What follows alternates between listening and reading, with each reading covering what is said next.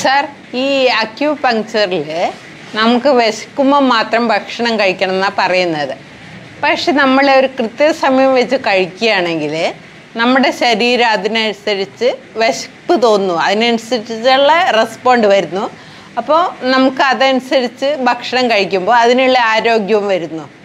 പിന്നെ കൂടാതെ എന്താണെന്ന് വെച്ചാൽ വീട്ടിലുള്ള എല്ലാവരും കൂടി ഒരുമിച്ചിരുന്ന് കഴിക്കുമ്പോൾ നമുക്കതൊരു കുടുംബം എന്നുള്ള രീതിയിലും നല്ല രീതിയിൽ നമുക്ക് മുന്നോട്ട് പോകാൻ കഴിയുന്നു. അപ്പോൾ ഈ രണ്ട് തരം അപ്രോച്ച് ഇത് രണ്ടും കൂടി നമ്മൾ എങ്ങനെയാണ് സമന്വയിപ്പിക്കേണ്ടത്?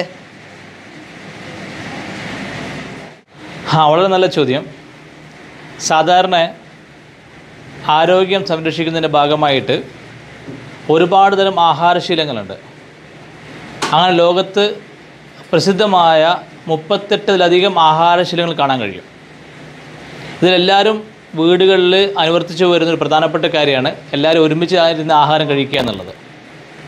പലപ്പോഴും ഒരുമിച്ചിരുന്ന് ആഹാരം കഴിക്കുന്ന ആളുകൾ പലപ്പോഴും വിശന്ന ആഹാരം കഴിക്കുന്നവരല്ല. സ്വാഭാവികമായും അങ്ങനെ വിശക്കാതെ ആഹാരം കഴിക്കുന്നത് രോഗമുണ്ടാക്കുന്നു എന്നുള്ള പ്രധാനപ്പെട്ട ഒരു പ്രശ്നമാണ്. ഇപ്പോൾ നമ്മുടെ നാട്ടിൽ പലപ്പോഴും ബന്ധുക്കളെ വീട്ടിലും അതുപോലെ സുഹൃത്തുക്കളെ സന്ദർശിക്കുന്ന സമയത്തൊക്കെ തന്നെ ഒരുമിച്ചിരുന്ന് ആഹാരം കഴിക്കുക എന്ന ഒരു ശീലം ഫോളോ ചെയ്യുന്നതിന്റെ ഭാഗമായിട്ട് അനാവശ്യമായി വിശപ്പില്ലാതെ ആഹാരം കഴിക്കുകയും അങ്ങനെ ആഹാരത്തിന്റെ ആധിക്യങ്ങൾ കൊണ്ട് ഒരുപാട് രോഗങ്ങൾ ഉണ്ടാകുകയും ചെയ്യുന്നുണ്ട്. അങ്ങനെ വരുമ്പോൾ അത്തരം ആഹാരശീലം ഗുണകരമല്ല.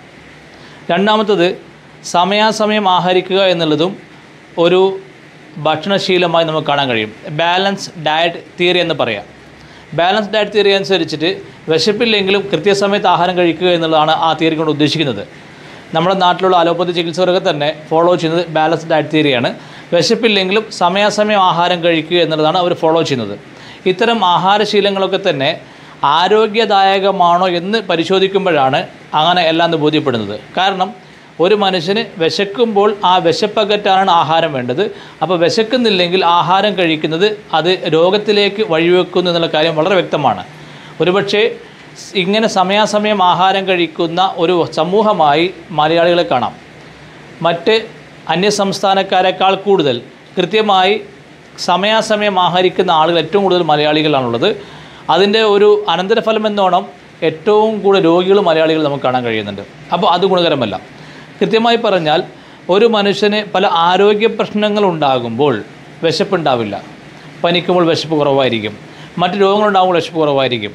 അപ്പോൾ ഒരിക്കലും സമയാസമയം വിശക്കുക എന്നുള്ള സംഭവിക്കാൻ പോകുന്നില്ല. അതുമാത്രമല്ല കാലാവസ്ഥാ വ്യതിയാനം. നമുക്കറിയാം മഴ പെയ്യുമ്പോൾ തണുപ്പുള്ള സമയത്ത് നമ്മൾക്ക് വിശപ്പ് താരതമ്യം കൂടുതലായിരിക്കും വേനൽക്കാലത്തേക്കാൾ കൂടുതൽ. ഇങ്ങനെ ഓരോ കാലാവസ്ഥ കൊണ്ടും ആരോഗ്യ പ്രശ്നങ്ങൾ കൊണ്ടും പല തരത്തിലുള്ള മനുഷ്യന്റെ ശരീരത്തിലുള്ള ഊർജത്തിന്റെ ആവശ്യങ്ങൾക്ക് വ്യത്യാസം വരുന്നതനുസരിച്ച് സ്വാഭാവികമായി വിശപ്പിൽ വ്യത്യാസം ഉണ്ടാകുന്നുണ്ട്. അങ്ങനെ വരുമ്പോൾ വിശപ്പിനെ നോക്കി ആഹരിക്കുക എന്ന് പറയുമ്പോൾ അത് രോഗം സുഖപ്പെടാനും അത് ആരോഗ്യദായകവുമായിരിക്കും.